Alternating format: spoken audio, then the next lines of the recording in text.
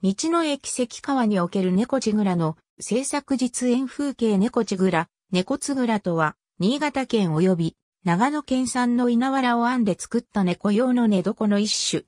新潟県関川村、秋山号、新潟県長岡市小国、山古市、新潟県出雲崎町の民芸品である。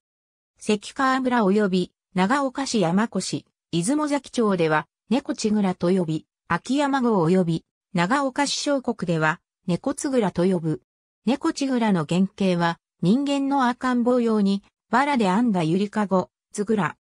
赤ん坊を入れて、田んぼのあぜ道の目の届くところに置き、農作業をしながら子供をあやしていたが、それがいつの間にか飼い猫のためにも作るようになった。猫ちぐらに入っている猫現代になって、猫用に作られたちぐらは、鎌倉型のものが一般的に認められ、広く行き渡っている。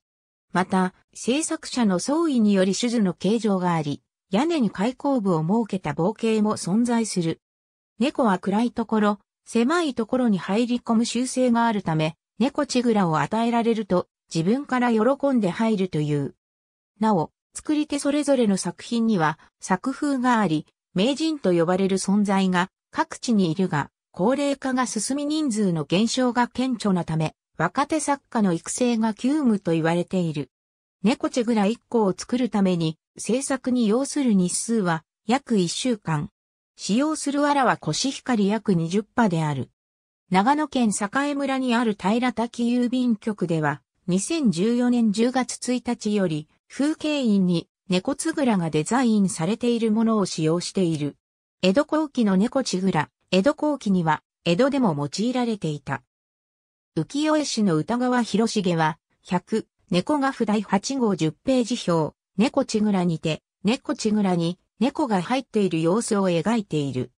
また、深川江戸資料館に再現されたものは、猫が上から出入りするようになっており、横の口は覗き窓となっている。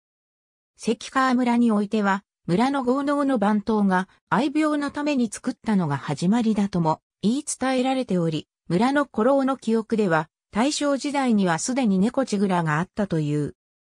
1980年頃から商品として売り出されている。